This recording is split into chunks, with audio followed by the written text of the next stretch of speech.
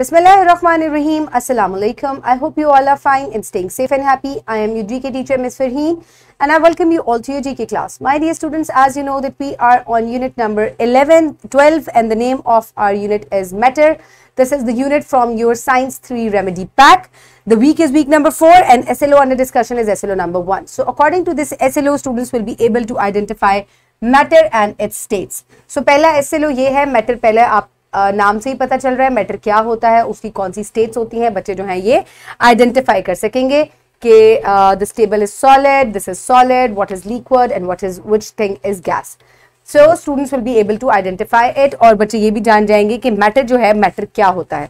So my dear students जैसे कि solid है आइस सॉलिड है चेयर भी सॉलिड है, इसके अलावा लिक्विड्स होते हैं जूसेस हैं मिल्क है uh, water hair these are uh, liquid states of matter and then air and perfumes aerosols these all are gases. So my dear students up next what you will do is you have to carefully uh, read this SLO and then you have to find it out in your GK uh, 3 or science 3 uh, book. And then you have to write down the name of your book and the page number here in the blanks next what you will do is आपने uh, जो है इस S L O के साथ जो second Q R code दिया गया है इसको स्कैन करना है। स्कैन करने पे you will watch a watch video को वॉच करने पे ही you will be able to complete the task given with this S so my dear students complete the task in time and take care of yourself thank you so much and अल्लाह हाफिज़